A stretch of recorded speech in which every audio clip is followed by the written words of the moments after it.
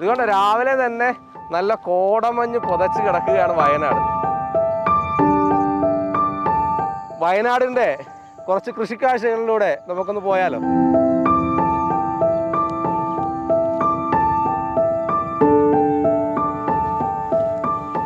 വയനാട് പച്ചിലക്കാടാണ്. ഇവിടെ വാഴത്തോട്ടത്തിന്റെ ഒരു അച്ഛൻ നിപ്പുണ്ട്. അച്ഛന്റെ കൃഷിയാണ് ആദ്യം.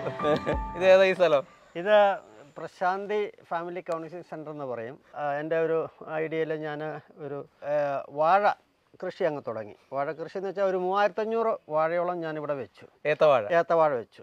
അപ്പോൾ ഞാൻ വിചാരിച്ചു വെറുതെ വാഴ വെച്ചിട്ട് മാത്രം രണ്ട് കൊല്ലം കൊണ്ട് തീർ തീർക്കാതെ അപ്പം ഞാൻ വിചാരിച്ചു കുറച്ചുകൂടെ കാപ്പി അങ്ങോട്ട് വെക്കാം. കാപ്പിക്ക് പോകുകയാണെങ്കിൽ നല്ല വിലയുണ്ട് അപ്പോൾ അങ്ങനെ ഞാൻ കാപ്പി ഒരു രണ്ടായിരത്തോളം കാപ്പി ഇതിപ്പോൾ രണ്ട് വർഷമായുള്ളൂ. ഇതിപ്പം പൂത്തു ഇത് കാ തുടങ്ങിയിരിക്കുകയാണ്. ഏകദേശം ഇത് എല്ലാം പൂത്ത് തുടങ്ങിയിട്ടുണ്ട്.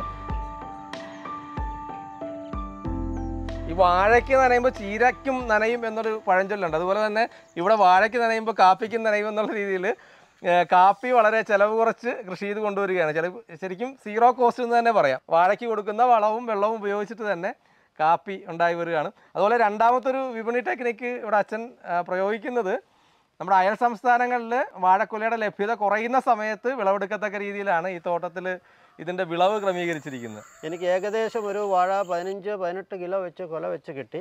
നല്ല കഴിഞ്ഞ കൊല്ലം കിട്ടി. ഒരു ഏകദേശം എന്റെ എല്ലാ പണിക്കൂലിയും കഴിഞ്ഞിട്ട് എനിക്ക് ആറ് ലക്ഷം രൂപയോളം ലാഭം കിട്ടി. കൂടുതലും ജൈവവളമാണ്. കോഴിയുടെ കാഷ്ടമാണ് ഞങ്ങൾ ഉപയോഗിക്കുന്നത്.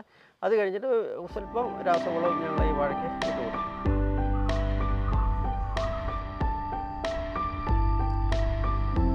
ജലസേചനമാണ് ഇതിന്റെ പ്രധാനപ്പെട്ട ഘടകം അല്ലെ? തീർച്ചയായിട്ടും. അത് ഇവിടെ ഈ വെള്ളം എന്ന് വെച്ചാൽ നമുക്കൊരു മൂന്നരയാൾ താഴ്ചയിലെ കുളമാണിത് ഞങ്ങളിത് മേട ഉണ്ടാക്കിയതാണ്.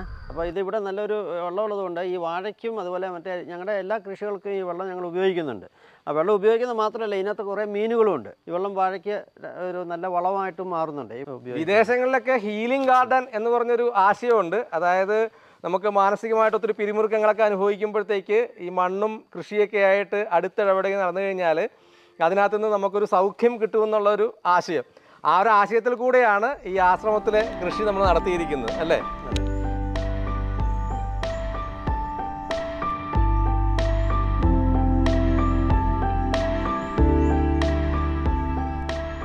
സാധാരണ ഏത്തവാഴ വിളയുന്നതിനും ഒരു മൂന്ന് മാസം മുമ്പേ ഇവിടുത്തെ ഏത്തവാഴകൾ കുലയ്ക്കും. അതിന്റെ ഒരു ടെക്നിക്ക് എന്താണ്? അത് സാധാരണ നമുക്കറിയാം ഒരു വാഴ നമുക്ക് അതിന്റെ ഒരു തലക്കന്ന് എന്ന് പറയും. അതായത് ഒരു നല്ല ശക്തിയുള്ള ഒരു കന്ന്. ഇപ്പോൾ ഏകദേശം പറയുകയാണെങ്കിൽ ഇതൊരു ഇതിന്റെ തലക്കന്നാണ്. ഈ തലക്കന്ന് നമുക്ക് അവിടെ നിർത്തിയാൽ ഏകദേശം പെട്ടെന്ന് തന്നെ ഒരു വളർച്ച ഒരു ഹാഫ് ഇതിന്റെ ഒരു പിണ്ടിയുടെ പകുതി വെച്ച് ഞങ്ങൾ മുറിക്കുമ്പോൾ പകുതി വെച്ച് മുറിക്കും. അപ്പോൾ ഈ ഇതിന്റെ വളവും ഇത് ഇതിന്റെ ഒരു ശക്തിയും കൂടെ ഈ കന്നിനങ്ങ് കൂടും. അപ്പം വാഴ കന്ന് നല്ല ശക്തിയിൽ വരികയും ചെയ്യും വാഴയായിട്ട് വലിയ വാഴയായിട്ട് വരും. അതിന്റെ ഇടയ്ക്ക് നമുക്ക് ഈ ഒരു മൂന്ന് സാധാരണ ഒരു മൂന്ന് നാല് വാഴ എന്ന വിത്ത് നമുക്ക് അതിനകത്ത് നിന്ന് പറിച്ചു മാറ്റാൻ പറ്റും. എട്ട് മാസം ആകാതെ നമുക്ക് വാഴ കൊലക്കില്ല സാധാരണ രീതിയിലാണെങ്കിൽ. ഒരു നോർമൽ പക്ഷേ ഇത് അഞ്ച് മാസം കൊണ്ട് വാഴ കുറച്ച് വരും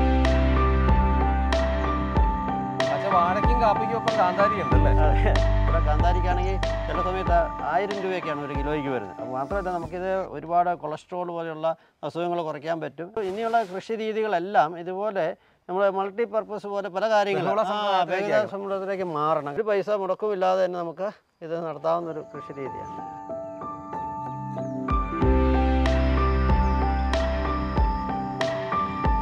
തോട്ടത്തിൽ ഇഷ്ടംപോലെ ഇഷ്ടം പോലെ ഉണ്ടെന്ന് തോന്നുന്നു അല്ലേ? നമ്മുടെ പറമ്പിൽ തന്നെ എല്ലാം സ്വയം പര്യാപ്തതയിലെത്താവുന്ന ഇന്നിപ്പോൾ മാർക്കറ്റിൽ നിന്നൊക്കെ മേടിക്കുന്ന പലതും വിഷമൊക്കെ അടിച്ചിട്ടുള്ള ഇതാണ്. അപ്പോൾ അതുകൊണ്ട് വിഷം മുക്തമായിട്ടുള്ള കാര്യങ്ങളൊക്കെ ഇതുപോലെ നമുക്ക് ഫ്രഷ് കാണുമ്പോൾ തന്നെ നമുക്ക് തന്നെ ഒരു സന്തോഷമാണല്ലോ മനസ്സിൽ. ഇവിടെ പറിച്ചു നട്ടിട്ട് വളർത്തുന്ന വാഴത്തോട്ടാന്ന് തോന്നുന്നു അല്ലേ? അതെ അതെ. കാരണം എന്താന്ന് വെച്ചാൽ ഇതൊരു ആയിരത്തോളം വാഴ ഞാൻ അതിന്റെ വിത്തെടുത്തിട്ട് പാകി നമ്മൾ സാധാരണ മുളപ്പിക്കുന്ന മുളപ്പിച്ച് വളർത്തിക്കൊണ്ടുവന്ന വാഴ അപ്പോൾ ഇതിന്റെ ഒരു ഒരു ഗുണം എന്താണെന്ന് വെച്ചാൽ ഇതിന്റെ വിപണി നമുക്കത് കുറച്ച് കഴിയുമ്പോൾ ആ വാഴക്കൊല കൊത്തി കഴിയുമ്പോഴത്തേനുമാണ് ഇത് ഇത് വരുന്നത്. അപ്പോൾ അത് നമുക്ക് കണ്ടിന്യൂസ് ആയിട്ടൊരു ആദായം കിട്ടും. മാത്രമല്ല ഈ വേരി ചിലപ്പോൾ വിലയിൽ വേരിയേഷൻ വരും. ആ വേരിയേഷൻ വരുമ്പോൾ നമുക്ക് ഈ ചിലപ്പോൾ ഇതിനായിരിക്കും കൂടുതൽ ലാഭം കിട്ടുന്നത്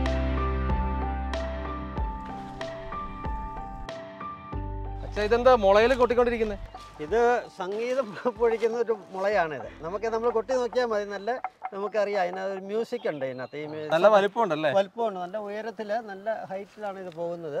മുളയുടെ ഇല വിടരുന്ന പാളയാണ്. ഇത് കണ്ട? നമുക്ക് വിശറിയായിട്ട് വരെ ഉപയോഗിക്കാം. അത്രയ്ക്ക് വലിയ മുളയാണ്. ചെറുനാരക അല്ലേ? ഇത് അപ്പോൾ ഈ കഴിഞ്ഞ പ്രാവശ്യം ഒരു പത്ത് മുന്നൂറ് നാരങ്ങ നാരങ്ങ കിട്ടി. ഇത് പച്ചക്കറി കൃഷിയുടെ ഏരിയ ഇത് ഇത് പച്ചക്കറി എന്ന് പറയാം ഒരു ഒന്ന് വിളവെടുപ്പ് കഴിഞ്ഞതാണ്. ഇപ്പോൾ ഈ രണ്ടാമത് വേനത്താണ് അതാണ് ഇവിടെ തക്കാളി ഉണ്ട് കാബേജ് ഉണ്ട് പച്ചമുളകുണ്ട് പയറുണ്ടായിരുന്നു. പയർ ഇവിടെ നട്ട് ഇപ്പം രണ്ടാമത്തെ റീപ്ലാന്റ് ആണ്. പിന്നെ കൂടാതെ ബീൻസ് അതിന്റെ വിളവെടുപ്പ് കഴിഞ്ഞു. ചൗച്ചവും ഇങ്ങനെ ഒരുപാട് നമുക്ക് ആവശ്യമായിട്ടുള്ള ഒരു അത്യാവശ്യം നമുക്ക് പിന്നെ വീട്ടിലെ ആവശ്യത്തിനുള്ള പച്ചക്കറികൾ നമുക്ക് വിഷമില്ലാതെ നമ്മൾ തന്നെ ജൈവതലത്തിൽ നമ്മൾ വളർത്തിയെടുക്കുകയാണ്. ഇതൊരു കുട്ടി വനാണെന്ന് തോന്നുന്നു ആ ഇതൊരു ചെറിയ വനമാണ് ഞങ്ങളൊരു ശാന്തിവനം എന്ന് പറഞ്ഞാൽ ഒരു ശാന്തിവനം വനം ഞങ്ങൾ ആക്കിയൊക്കെയാണ് കാരണം ഇവിടെ ആൾക്കാർക്ക് കൗൺസിലിങ്ങിന് വരുമ്പോൾ ഒരു സ്വസ്ഥമായ നല്ല പച്ചപ്പും നല്ല തണലൊക്കെ കാണുമ്പോൾ മനസ്സിനൊരു സന്തോഷം അവർക്ക് തോന്നി.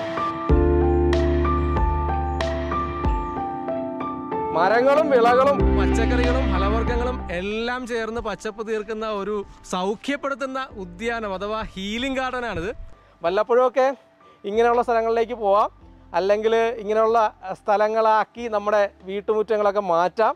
ഇതൊക്കെ നമുക്ക് വിഷമില്ലാത്ത പച്ചക്കറികൾ ഫലവർഗങ്ങളും കഴിക്കുന്നതിനൊപ്പം തന്നെ നമുക്ക് ഇന്നത്തെ തലമുറയെ വേട്ടയാടിക്കൊണ്ടിരിക്കുന്ന മാനസിക പിരിമുറുക്കത്തിനുമൊക്കെ ഒരു അയവ് വരുത്തുന്ന കാര്യങ്ങളാണ്.